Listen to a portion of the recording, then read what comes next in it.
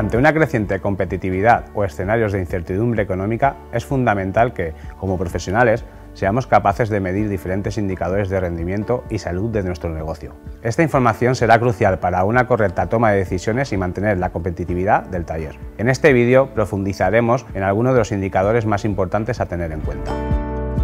Los KPIs, del inglés Key Performance Indicators o indicadores clave de rendimiento, son indicadores que nos permiten tener un control total sobre la gestión y recursos del taller. Los KPIs definidos deben ser específicos, medibles, alcanzables y deben estar sujetos a periodos determinados, con el fin de que podamos construir un cuadro de mando que nos aporte información clara y real sobre la situación de nuestro negocio. La primera clasificación que realizaremos será en base a la gestión de la mano de obra.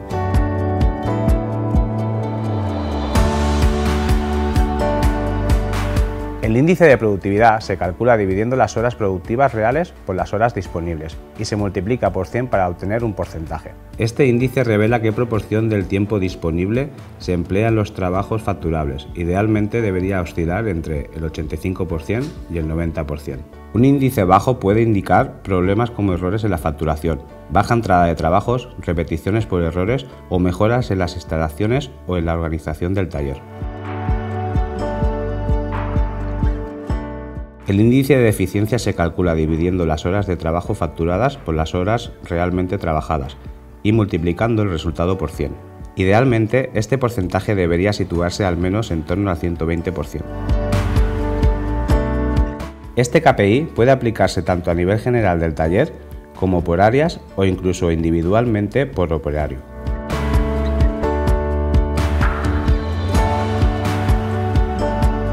Para un correcto cálculo de la eficacia y productividad, una opción puede ser implementar un sistema de fichajes que registre detalladamente el tiempo que los operarios dedican a cada tarea, dando lugar a una medición precisa del tiempo productivo frente al tiempo facturado.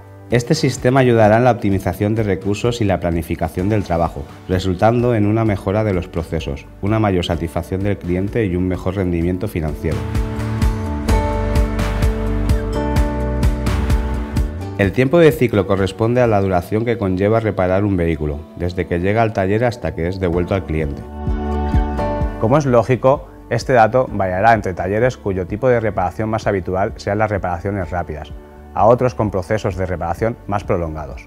Para calcularlo, registraremos el número de vehículos a reparar al final de cada jornada, dividiéndolo por el número de reparaciones de media por día. Esta media la obtenemos dividiendo el total de las reparaciones en un mes entre el número de días trabajados en este periodo. Esto ayuda a estimar el tiempo de cada reparación así como la fecha prevista de entrega, optimizando recursos como los coches de sustitución o el espacio en el taller. Existen también otros KPIs más relacionados con la gestión de materiales y productos. Veamos alguno de ellos. El margen bruto en recambios sirve para evaluar la rentabilidad de los recambios y se obtiene calculando la diferencia entre la facturación de esas piezas y su coste de adquisición, representada como un porcentaje del coste. Este KPI refleja la eficiencia en la gestión de recambios y es crucial para optimizar descuentos y evitar pedidos urgentes mediante una planificación adecuada. El margen bruto de materiales de pintura se calcula comparando la facturación de estos materiales con su costo, expresado en porcentajes sobre el costo. Para el cálculo de consumo real de materiales de acabado, como color y barniz, que constituyen entre el 75% y el 85% del coste total, podemos tomar como referencia las órdenes de trabajo registradas en el software de color.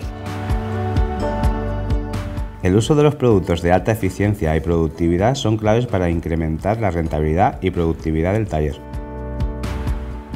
En este sentido, el sistema de pintura bicapa de Sinec, en conjunto con su gama de barnices, masillas o aparejos, es la opción ideal para aquellos talleres que buscan acabados premium de alta calidad a un coste altamente competitivo y con una incidencia directa en los márgenes totales.